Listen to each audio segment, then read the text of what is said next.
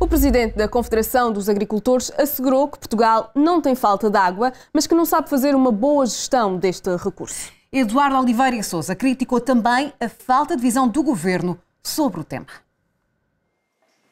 O Ministério da Agricultura, tutelado por Maria do Céu Antunes, reconheceu que Portugal está em situação de seca severa e extrema, com cerca de 40% do território nacional, devido à pouca chuva desde o início do ano.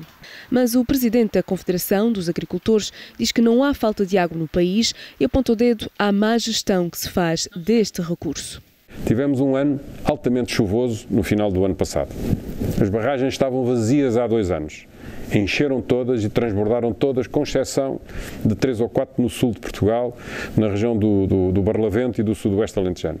O resto encheu tudo.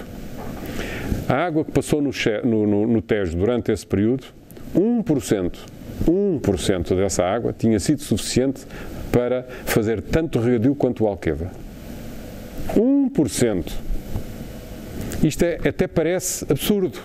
O representante dos agricultores criticou a falta de visão do governo sobre esta matéria, lembrando que a CAP apresentou um documento com algumas sugestões. Mas às tantas o PRR veio com a notícia de que havia um reforço da verba que vinha para Portugal.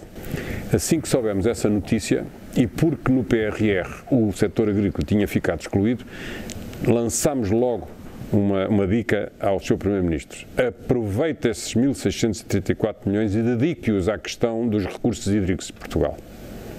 Vamos estudar os recursos hídricos para todos os setores, para todos os fins para protegermos das secas, para protegermos dos incêndios, para dinamizarmos, para continuar a agricultura nos sítios onde está a perder. Este é o nosso grande uh, problema, é uh, estar a acontecer com a água já disse isto há pouco, o que aconteceu com o aeroporto. Eduardo Oliveira e Souza alertou também para o perigo de Portugal ter território abandonado de pessoas e atividades económicas que se transforma em pasto para as chamas. As reservas de água no sul do país encontram-se muito abaixo dos níveis habituais. É um dos resultados da seca em Portugal.